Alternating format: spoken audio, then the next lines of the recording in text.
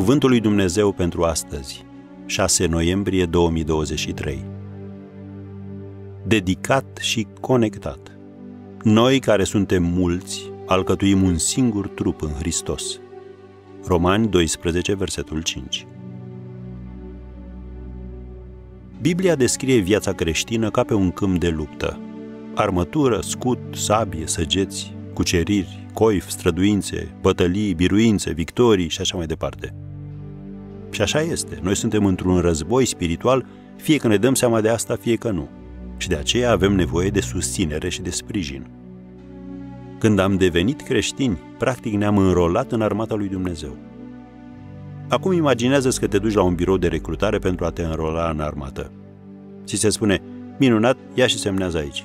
Tu spui, stați puțin, am câteva condiții. Nu vreau să fiu legat de un pluton anume, vreau să fiu flexibil, voi face parte din armată, dar nu vreau să fiu atașat unui anume grup de soldați. Dacă lupta se întețește prea mult într-o zonă, mă voi muta într-o altă zonă și voi lupta alături de alți oameni. Și dacă nu-mi place conducerea acelui pluton, mă voi alătura altuia. E, ce zici, te-ar mai primi? Dar tu ai vrea să lupți cod la cod cu o astfel de persoană? Firește că nu.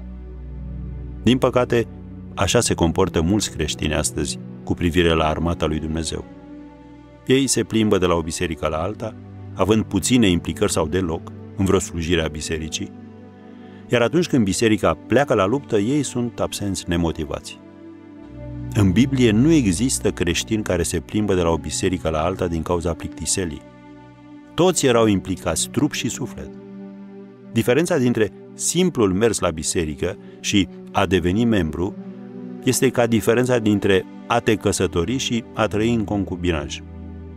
Deosebirea o reprezintă angajamentul.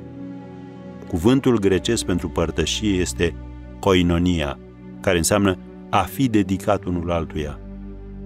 Domnul Isus a zis în Ioan 13, versetul 35, prin aceasta vor cunoaște toți că sunteți ucenicii mei, dacă veți avea dragoste unii pentru alții.